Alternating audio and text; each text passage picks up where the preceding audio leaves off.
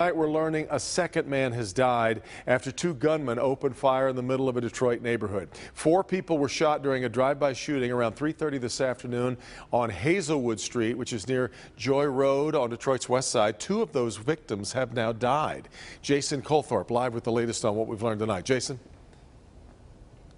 Good evening, Devin. Uh, this is what we know tonight. Four men shot on this porch earlier today. Their ages, there's been some confusion 63, 63, 43, and 43. One of the men dead on the scene, 63 year old Chip Smith, right at the foot of those steps. And then we learned earlier tonight 43 year old Jamil Goodwin died at the hospital. He's a father of seven. And we've also seen a lot of police cars going up and down Hazelwood tonight. A huge increase in their presence up and down here because, from what we're told, they are concerned whatever this was on this porch earlier today isn't the last of it.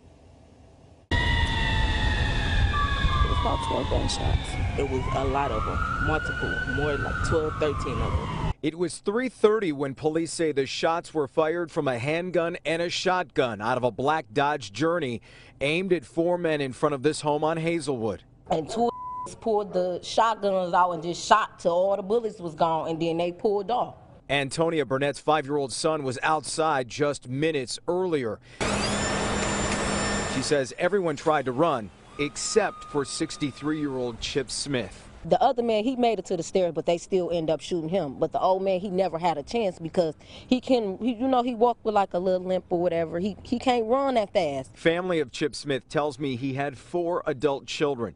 A friend of his since their high school days at Northern High says none of them deserve this.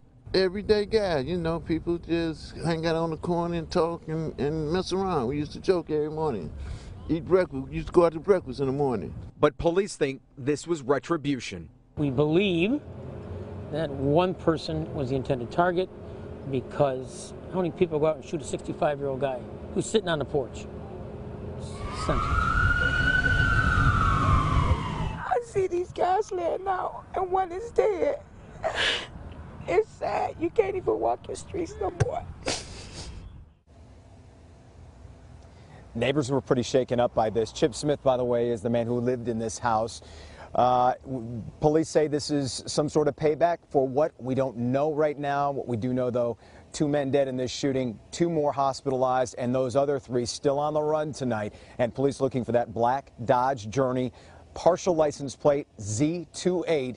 If you see that or see anyone or know anything about this case, Call police. Do not approach those men. They're considered armed and dangerous. Live on the west side tonight, Jason Colthorp, Local 4.